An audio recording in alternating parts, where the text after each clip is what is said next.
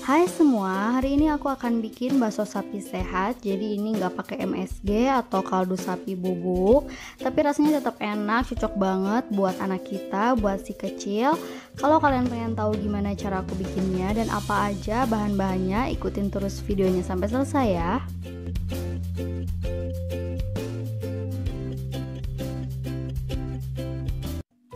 Untuk bahannya di sini aku ada 500 gram daging sapi giling atau cincang. Nah, ini masih kasar seperti ini nanti akan aku haluskan dengan cara di blender.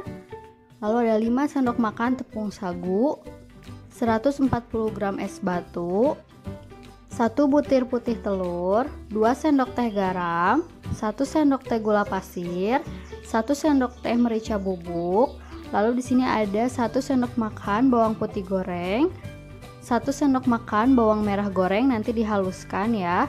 Lalu di sini ada setengah sendok teh baking powder.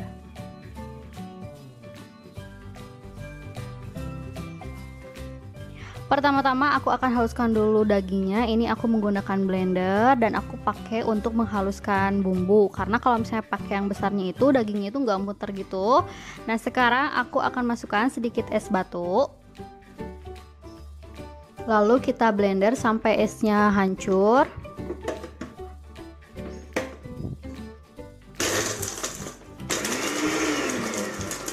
Nah, seperti ini, ini udah cukup.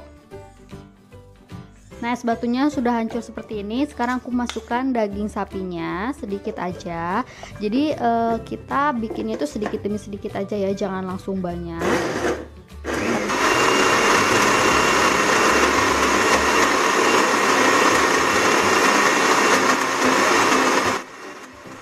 Nah kalau misalnya dagingnya udah nggak muter seperti ini kita bisa ubah posisi dari dagingnya ditepuk-tepuk aja biar nanti dagingnya bisa terblender lagi dengan benar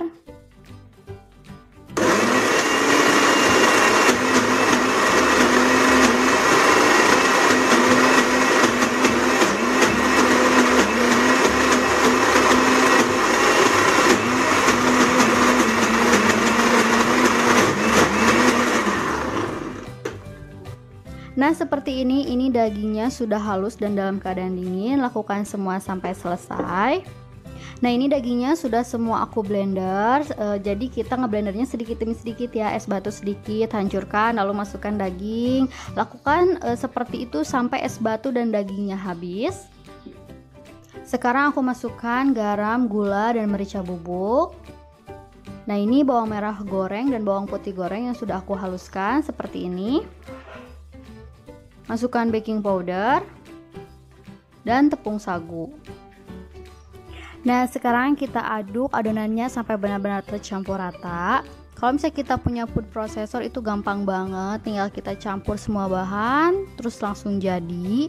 Tapi kalau misalnya kita nggak punya, kita harus benar-benar mengaduk sampai adonannya rata ya.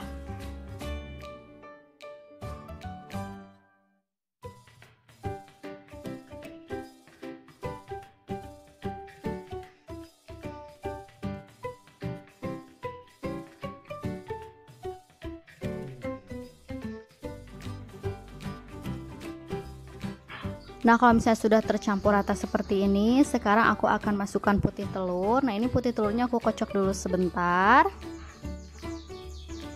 Lalu kita masukkan. Nah ini kita aduk lagi sampai benar-benar rata. E, Aku ini kira-kira sekitar 10 menitan. Pokoknya aduk terus sampai benar-benar tercampur rata ya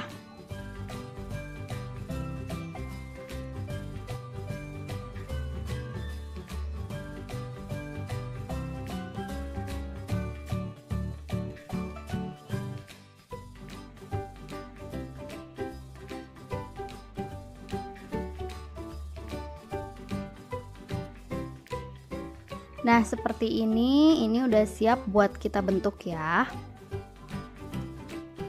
Nah, ini tadi sebelumnya aku udah didihkan air sampai mendidih seperti ini. Sekarang aku matikan apinya atau kalau misalnya mau pakai api, apinya sangat kecil-kecil banget. Nah, sekarang kita bentuk baksonya. Pastikan tangan kalian sudah bersih, tapi kalau kalian mau bikinnya pakai sarung tangan, itu terserah kalian ya. Lakukan semuanya sampai selesai.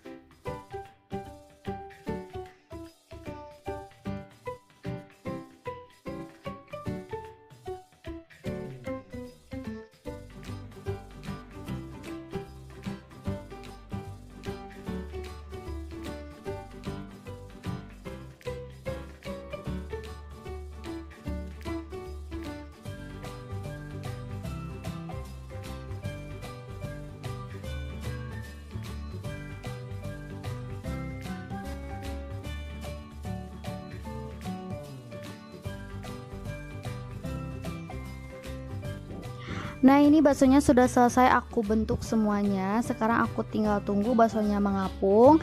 Ini aku pakai api tapi apinya kecil banget. Jangan sampai si airnya mendidih ya Karena itu akan membuat si baksonya lembek nggak kenyal lagi.